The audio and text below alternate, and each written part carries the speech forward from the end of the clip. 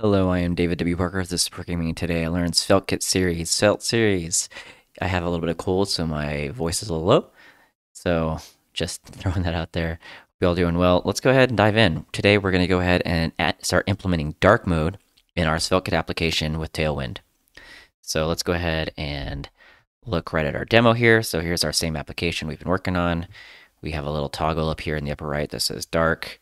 Um, if I go ahead and sign in real quick, um, and then you could see forms are, are, are, different. If I go into the different page, uh, you know, there's some, some little issues here and there, like this little bar I didn't fix, but it's kind of a work in progress. And I'll just want to show you quickly how you can implement it. You know, these, these aren't changed yet. But for the most part, we have the structure in place, and I'm going to show you how you can implement it. And then, so the design, I kind of took based off my similar design on my this is my blog uh, where I have my dark light, dark and light mode. So I have my little kitty cat flashlight, but um, and then uh, as well as Listen Addict, which is my other site that I have here, and the same kind of dark mode.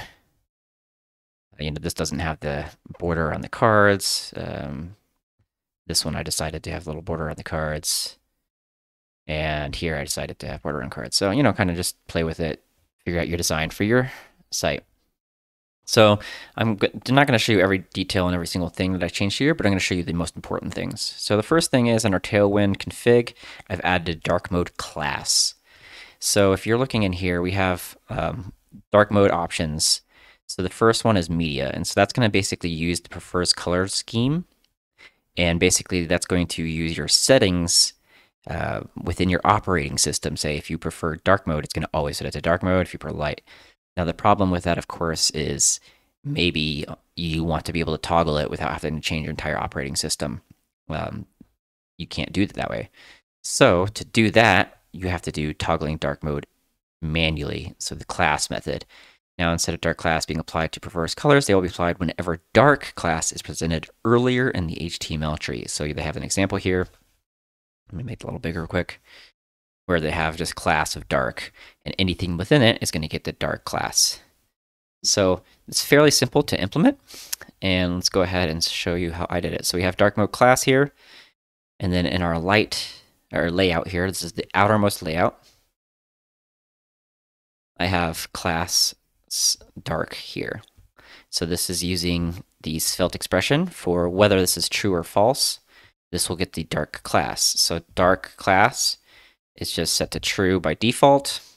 And you could do some magic in here, we will later on. And then we're going to pass in the binded version down into our nav. So that way when this variable changes in our nav, it'll be reflected up here in our class. And then so down here, we're going to export let dark. So this is coming in from the layout.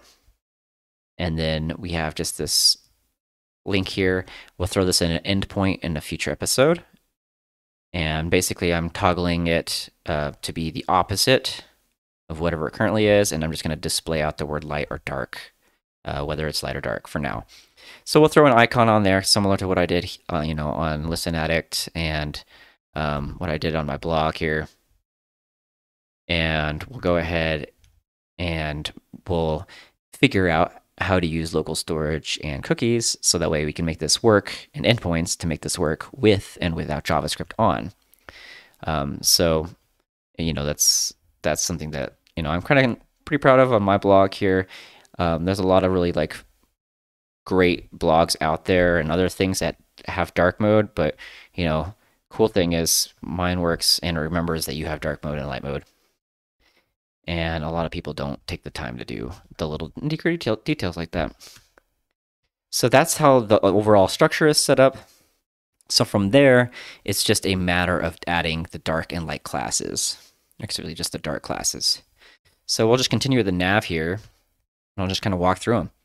So we want to set the text to white, dark on hover. We're going to set the primary color as the background to primary 700, and then the black background. So, and like the black background is basically for this register um, or for the sign out leak because that's the only one that really needs that. The other ones will just be passed through since they're just links here. This is a input type of submit. So that covers those on our main index here. So this is the list of all of the posts here. Let's go ahead and sign in again. So we have our post new post button here. In dark mode, we're going to set a text to white and then the hover, etc. So that just makes them match all of these. This is something that, again, that, you know, I, I will export all of this out into a shared class because this is repeated code. I just haven't yet. The post form, we'll come back to that in a moment. On the list here, we're going to have this dark border as well as the border gray 200. That's what's going to give us the these this border around all of the text here. And then for each post, we're going to give it the background color that's appropriate. And then again in the form and the card, we will look at each of those independently here. So let's go ahead and look at the post form real quick. So down here is where we start. So I transition, I moved this form out a little bit. I had a class on here for margin and I removed that. And then when we have the shadows, when we know we're to need the dark mode. And the reason for that is because it's the when it is independently there versus doing the posts new page. So like this one I haven't completely done. Um, I did change like the edit page here. Uh, oops, just edit. So this one I did change, but didn't fix the new yet. So you can see here, it's just like, again, a matter of going into each of the areas where you have colors defined. Background white, we're gonna go ahead and set this as background 800, and we're gonna have a wider light text for the title, as well as the post body, and then the same background here. You know, this, this label, um, these label blocks, you might want to extract those out into their own you know, and then same with any of these kind of blocks that, you know, you have this repetitive code extracted to different components. So dark background gray, placeholder is 200, and then text is white. So, and it, you know, at this point, to me, the visible eye, it's kind of hard to tell between the gray and white, especially gray 200.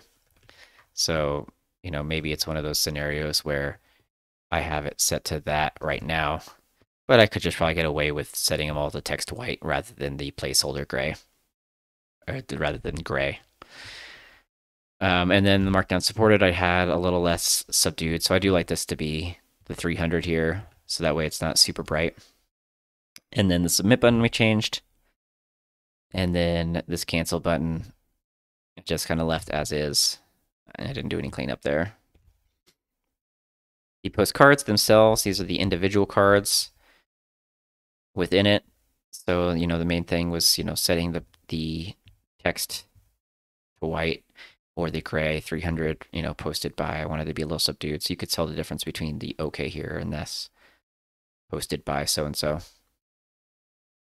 And then um, otherwise I did have to on the delete again, because this is a actual input button, I had to go ahead and give it the dark text black and published dark gray. I like the 300. It, it, it is enough difference between the white to make a difference. So, and the actual post content here, I did gray 100, but again, again, I could probably just have that SB as the white at this point. And then the comment was the 300 as well. I did fix up the edit, like I showed you very briefly, and you could see I see background white, dark background this with the border. I could probably copy this over for the new. So if we were to open this up and go to new here, and let's just drop that in here real quick.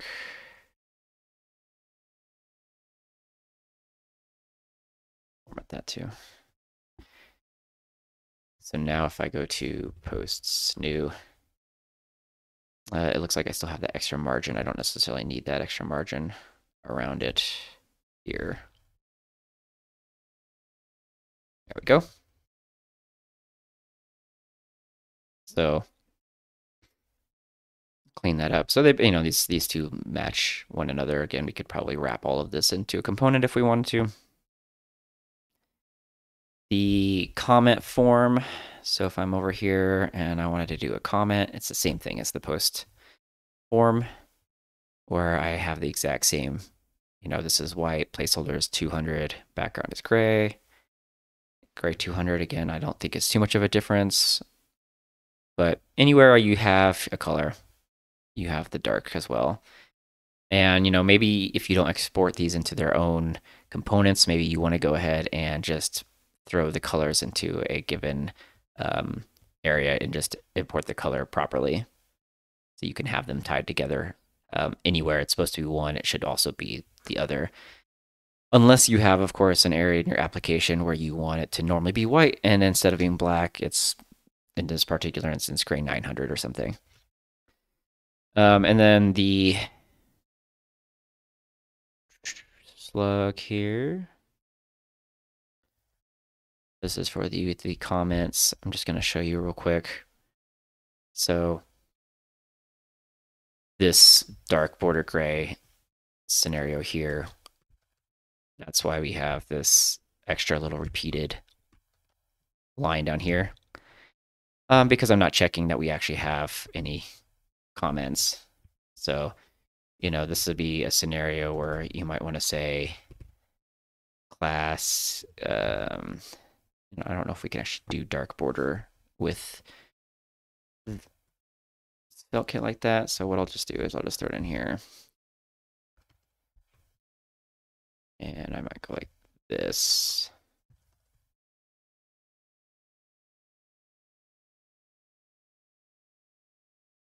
Uh, maybe we want to say. So now that we don't have any in there, we, we can go ahead and just ignore that. But if I click into this one, all the borders show up. And then we'll view more, of course. And just had to throw text, dark text white on there. And all of those show up appropriately. And then I didn't change the settings, but you could see on the sign in and sign out, I again, I changed just the background, the placeholder, and then the text. So fairly simple overall. Um, of course, this doesn't remember you yet, so that'll be part two. And I will show you how to implement this to work with and without JavaScript on via dark mode or via cookies and endpoints, and um, as well as having local storage and a store. And then we'll also go ahead and we'll throw a little icon on there to make it look a little prettier. Um, if you like and subscribe to this, that'd be fantastic. Support me on Patreon and buy me a coffee, etc. I appreciate you guys and girls, and good luck coding. Thank you. Bye.